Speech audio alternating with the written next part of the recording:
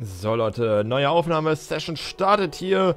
Äh, ich bin gerade eben aufgewacht und jetzt denke ich mir so einfach, ja, machen wir einfach mal direkt weiter mit Harry Potter und die Kammer des Schreckens. Ich habe ungefähr seit einer Woche nicht mehr aufgenommen, deswegen, ähm, ich entschuldige mich nochmal, dass der letzte Part einfach so unterbrochen wurde, weil außerdem das Spiel abgekratzt ist. Ja, auf Windows 7 ist das nicht so ganz dolle das Spiel zu lau zum Laufen zu bringen, Heute aber ja. Wollen wir mal weitermachen hier? Ich habe mir die Kommentare mal ein bisschen durchgelesen, die letzten Kommentare unter dem Video. Und ich soll ein bisschen mehr kommentieren zwischen den einzelnen, ähm, ja, Szenen, wo nichts passiert und so. Wo ich einfach nur durch die Gegend laufe. Das werde ich versuchen, aber ein bisschen muss ich mich auch auf ein bisschen konzentrieren. Boah, Junge. Alter. Ja, die Gegner werden hier mal schwieriger. Aber wenn es später uns am Boden mangelt, können wir hier richtig schön äh, Boden farmen. Komm, mach du mal. Ich habe Angst, dass ich irgendwas falsch mache. Muss nur einen roten. ne? Sauber ab ablassen. ablassen. Null. Nein. Expelliarmus! Ja, die blauen, die bringen gar nichts. Mach mal hier, mach mal nochmal rot. Expelliarmus! Jawoll. Ja, Mann, diese Dinger nerven voll, ne? Expelliarmus! Expelliarmus! Expelliarmus! Scheiße. Come on. Komm her. Expelliarmus! Jawohl. ist unberechtigterweise getroffen worden. Hier gibt es später übrigens einen schönen Glitch noch. Ich kann euch mal die ganzen schönen Glitches zeigen, die ich einfach mal während des Spiels hier rausgefunden habe, als Kind, äh, wenn das Let's Play jetzt zu Ende ist, aber während des Let's Plays ist das nicht gut, weil man kann hier auch äh, außerhalb der Bahn also kämpfen, also man kann hier über diese ähm, ja, Absperrung auch hüpfen. Mit, äh, also wenn ein bestimmtes Level kommt. Expelliarmus! Expelliarmus! Da hast du einen Jawohl. Glückstreffer gelandet, was, Potter? Immer doch, Snape. Tag und Nacht. Expelliarmus! Expelliarmus! Come on. Harry Expelliarmus! Potter hat Slytherin besiegt. Wie enttäuschend. Oh, Snape, Alter. Wir werden noch beste Freunde, das glaube ich dir, ey. Echt. Nach dem ersten Teil, ne, was du da vollbracht hast, um den Stein der Weisen zu holen, ne? Mann, Mann, Mann. Schön. So. Glaube, ja, wir haben noch zwei Gegner vor uns, dann sind wir Erster. Bei dem Duellierclub hier. Und wir haben so viel, also ganz ehrlich, wir holen uns erstmal gleich schön die Quidditch-Ausrüstung von den ganzen Boden, die wir haben. Weil, äh, kein Bock Karten zu kaufen, aber wir machen auch gleich Harry, mal du trittst Quidditch jetzt fertig. gegen ein Mitglied aus deinem Team an. Aber erwarte nicht, dass der Kampf deshalb leichter wird.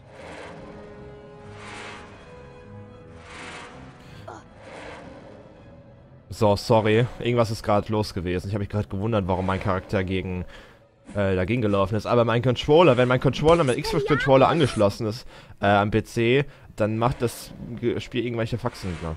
So, hier gibt es übrigens, das ist das Level hier, wo diese! Glitches herrschen. So, ich entschuldige mich gerade für den kleinen Fail. Expelliarmus! Expelliarmus! Nicht schon wieder ein Treffer von Potter. Guck mal, man kann ja auch hier hochgehen. Und jetzt könnte man theoretisch nach rechts gehen und dann... Das sieht auch geil aus. Das wollte ich euch auch mal später zeigen, aber das zeige ich euch jetzt mal. Wie ich da stehe. Expelliarmus! Expelliarmus! Expelliarmus! Weil äh, Harry Potter ja springt da in dem Game. Also normalerweise ist ja Springen hier verboten bei äh, den Duellierclubs, aber ja. Expelliarmus! Expelliarmus! Harry Expelliarmus! hat einen anderen Gryffindor geschlagen. Man kann Wie unloyal. man, nach, äh, man kann einfach bei dem Level hier springen. Das ist das ist dem Spiel nicht bewusst, deswegen äh, sieht das halt so komisch aus, ne? So, dann skippen wir mal hier, das haben wir ja schon gesehen. Harry Potter hat einen anderen Gryffindor geschlagen. Ja, Mann. Und das ist der erste hier. 200 Boden bekommen wir. Hm, mega. Man kann hier ordentlich Punkt, äh, Boden farmen. Wenn es wirklich mangelt, dann, ja, das noch sicker. So, jetzt wird's kompliziert, Leute. Heute hast du die Ehre gegen Slytherin Naja, aber Harry. Man kann hier wenig ausweichen. Expelliarmus! Expelliarmus! Expelliarmus! Der geht eigentlich. Expelliarmus! Expelliarmus! Expelliarmus! Da hast du Expelliarmus! einen Ja, Glückstreffer Mann. gelandet. Was, gewonnen schon. Was ist das? Expelliarmus! Expelliarmus! Harry Expelliarmus! Potter hat Alter. Besiegt. Wie enttäuschend. Ich dachte, ohne Scheiß, der zweite, den wir ge gegen diesen, diesen einen Gryffindor da, der war irgendwie schwieriger. Der war einfach. Ja, gut, und jetzt sind wir Erste, ja, Leute. Guckt euch das an. Zack. Erster Harry mit Ausrufezeichen. Dahinter natürlich. Matt will das nicht. Ja. Vergessen. So. Jetzt können wir uns erstmal Quidditch ausrüsten. Ah, genau, wir müssen zu den Kräuterkundeunterricht. Ah, ja. Ah, gibt's auch noch eine Menge, aber wir holen uns erstmal Quidditch-Ausrüstung, oder? Sollen wir das schon machen, Leute? Sollen wir Quidditch machen? Aber wir können uns schon mal die Sachen kaufen, wir können Quid äh, nee, spät später Quidditch machen. Wir holen uns erstmal kurz die Sache. Kann ich eigentlich schon längst hier rein? Hey Harry, Ah ja. Lust auf ein Geschäft? Wir kaufen im Dutzend ein. Das macht sich auch im Preis Da bemerkbar. war ich ja schon drin. Hey Harry, Lust auf... Was verkaufst du denn? Ich habe ein Nimbus 2001. Das beste Fabrikat, das derzeit im Handel erhältlich ist. Ja, das nehmen wir mal. 700? Alter. Du bist wirklich ein kritischer Kunde, Harry. Tut mir leid, Junge, aber mein Lager ist leer. Komm später noch einmal vorbei. Ja, der hat niemals mehr, also, der hat gar nichts anderes mehr. Was verkaufst du denn? Ich habe eine Quidditch-Ausrüstung der Chudley Cannons. ich find's sowieso, das, das, das ist total geil. Ich bin mir sicher, dass du mit deiner Wahl zufrieden sein wirst, Harry. Ja, auf jeden Tut Fall. mir leid, Harry, ich kann dir momentan nichts anbieten. Nie wieder. So, da haben wir unsere Quidditch-Ausrüstung, mega. Wie wäre es mit einem kleinen Handel, Harry? Kann man das machen? Gott, wie wie viel fehlen uns denn? Nee, Alter. Sag mal, wie viel? Was verkaufst du denn? Ich habe Flubberwurm Ah, nee. von allerbester Qualität. Nee, das machen wir nicht. Du hast das Geschäft deines Lebens verpasst, aber du musst es ja wissen. Nee, Alter, das brauchen wir nicht. Tut mir leid. So. Hier war irgendwas noch. Aber irgendwo war hier... Ah. Hier ist irgendwo ein Geheimgang. Jetzt habe ich es gerade vergessen.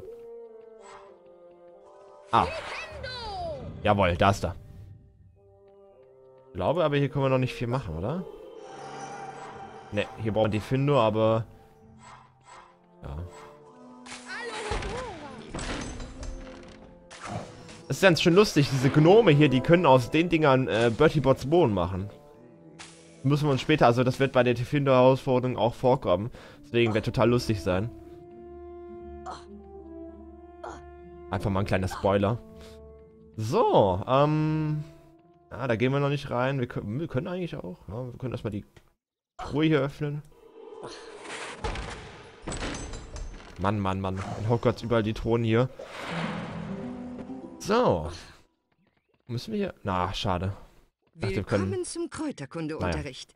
Für diejenigen, die es vielleicht vergessen haben, ich bin Professor Sprout. Lasst uns direkt anfangen. Heute lernt ihr den Abtrennzauber Diffindo. Harry Potter, würdest du dich bitte vor die Klasse pflanzen und als erster den Pflanzen. Zauber ausprobieren? Gerne, Professor Sprout.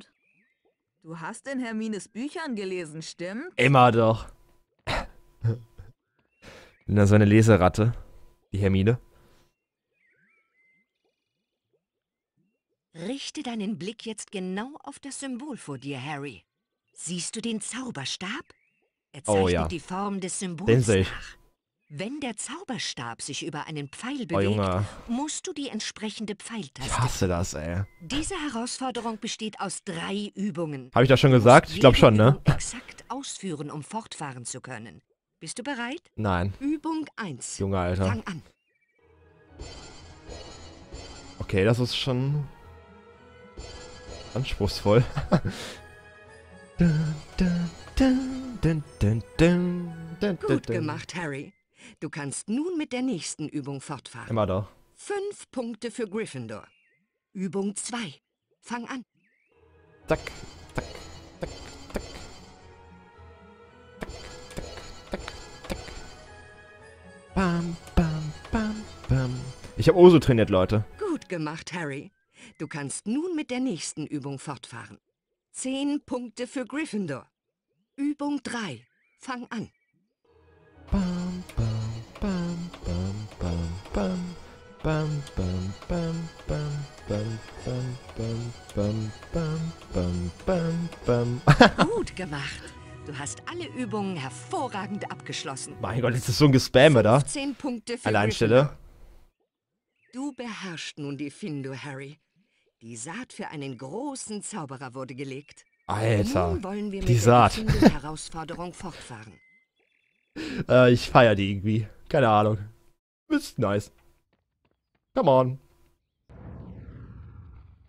Willkommen zur Difindo-Herausforderung, Harry. Möchtest du die Herausforderung erfolgreich beenden, musst du den Stern der Vollkommenheit finden. Er befindet sich in einem Gang über dir. Ja, da ist er schon.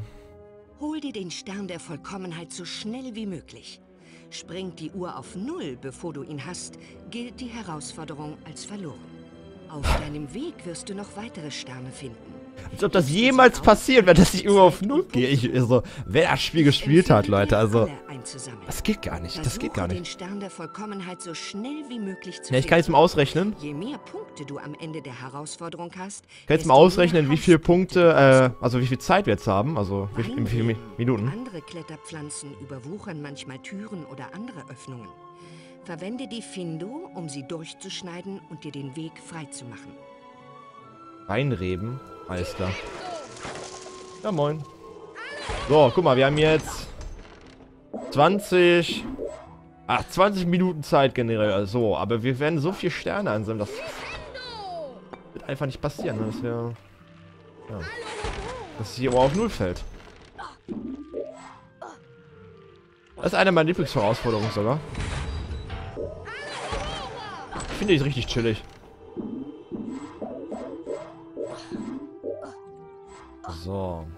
Jetzt natürlich noch mehr Bohnen einkaufen. Also, noch mehr Bohnen einkaufen, genau. Aber generell äh, noch ein bisschen Bohnen einsammeln für... Ja, wenn wir wirklich... Wenn wir uns wirklich ein paar Karten fehlen, können wir ein bisschen uns, uns einkaufen.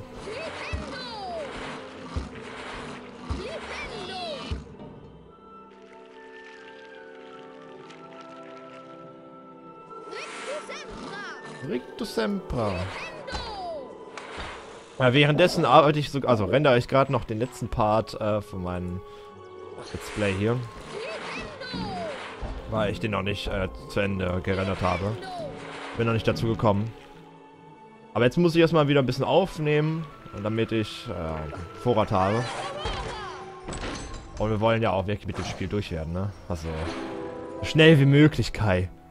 Ergreife die Flucht so eine Art. Ja, ich muss sagen, das, Spiel ist echt gut gemacht. Also, ein paar schöne Fehler, also ein paar schöne Glitches und amüsante Glitches gibt es schon hier, aber ja.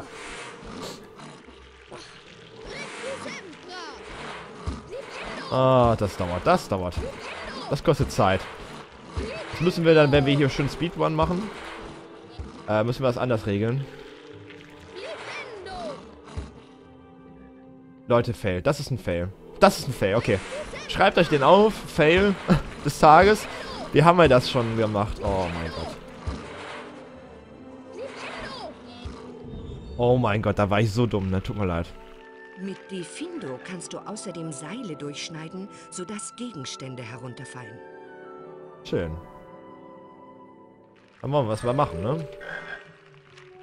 Ja, die Seile, die sind manchmal auch ziemlich nervig. Schön, wenn man einen Zauber hat. Ist da ein Geheimgang? Nee. Hohe Klumppilze sondern Giftgas ab, Harry. Gehe ihnen aus dem Weg oder verwende Defindo, um die Stiele abzutrennen. Orklum-Pilze. Passt mal auf, Leute. Wenn du den oberen Teil eines Hochklumppilzes vom Stiel abgetrennt hast, kannst du damit werfen. Vielleicht das mal an. Guckt euch das mal an. Der, der ignoriert uns vollkommen, der Gnome. Der macht erstmal aus den ganzen Pilzen Bo- Bohnen.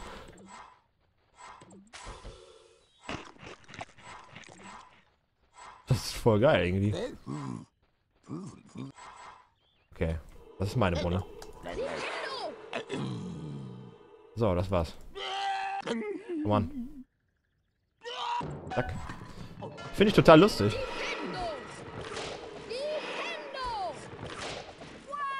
So. Hier ist Peeves drinne, pass auf. wow. Nice Troll. Wo ist denn der? Wow. Einfach mal durch den Boden geglitscht. Normalerweise sollte er nach oben fliegen hier. Ah, der ist anscheinend nicht mehr da. Ja gut.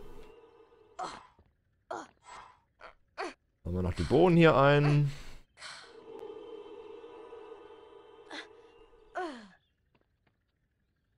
Ah, schade eigentlich, dass hier jetzt gerade keine Musik läuft. Wäre ein bisschen chilliger. Ist anscheinend ausgefallen.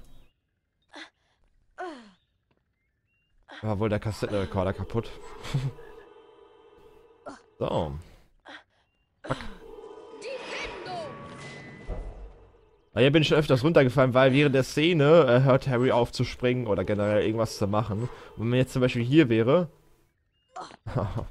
wo bei dem Schwarzen, da fällt Harry einfach mal gerade straight runter. ist einfach lustig. Und auch natürlich blöd. Wie hat die uns gesehen? Hä? Voll unlogisch. Ist doch viel tiefer gelegt als wir. Come on. Troll da nicht rum, Flubberbumschleim. Ich dachte schon, das können wir nicht holen. Wäre natürlich auch ein Fail gewesen.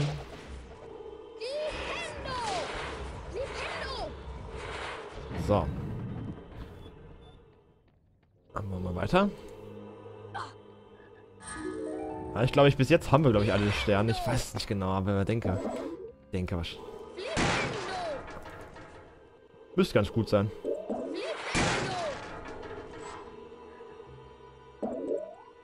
Okay, das war's. Ah. Stachelpflanzen feuern ihre Stacheln auf dich ab, sobald du ihnen zu nahe kommst. Halte dich von ihnen fern oder verwende die Findo, um die Stiele abzutrennen. Ja, das machen wir nicht. Wir sind auch nicht so in die Umwelt. Also, wir sind für die Umwelt. Na, und wenn wir das machen, dann, ja. Ich glaube, Hagrid, der Wildhüter, da, ja, die würden uns umbringen, wenn wir sowas machen würden. Dass Professor Sport sowas sagt, ne, ist auch für Pflanzen normalerweise. Liebt ja Pflanzen über alles. Hier diese Venemosa Tentacula. Finde ich auch geil. Im ersten Teil sind die mega. Da gibt es eine Stelle, nämlich da sind die Maxi Venemosa Tentacula unterwegs. Also die sind ultra riesig. Boah.